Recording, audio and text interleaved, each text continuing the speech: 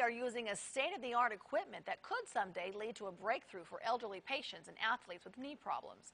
Here's Roxanne Lerma with the story.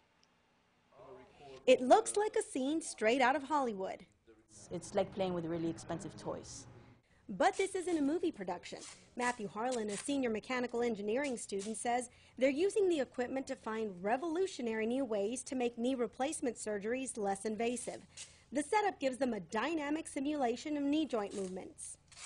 Not everybody has a chance to interact with such incredible technology this early in their career, and it's a fantastic opportunity for me.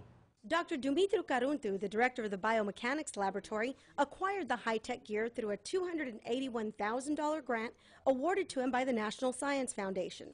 The motion analysis system consists of 10 cameras and plates that allow students to measure the internal force exerted on the knee. A series of markers are placed over the body. The cameras then record the motion and project an inside look at the knee. They measured the uh, muscle, uh, muscular activity. So you can know exactly which one of the muscles work and which one uh, do not. The purpose of this research uh, is to improve total knee replacements, is to improve rehabilitation exercises. Current technology on total knee replacements has limitations. The owner of an artificial knee has reduced mobility. Harlan says if engineers are going to develop a better type of knee implant, you really need to know what's happening inside the body. That's kind of difficult to do just by looking at somebody, and it's really hard to do because people don't want you to cut them open.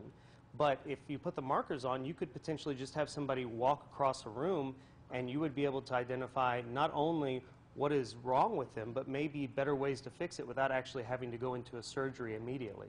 The scientific equipment can also help Dr. Caruntu and his students study obesity and how it affects the joints. Just here in the lab, just put a little bit like the camera system on them and analyze their biomechanics, and just by observing it, you can see if, oh, maybe they, like, their PCL or their ACL is like deficient and save them from going through x-rays or things like that. Someday the students hope to use the technology as a preventative measure, a type of warning system for patients at risk of stroke or heart attack.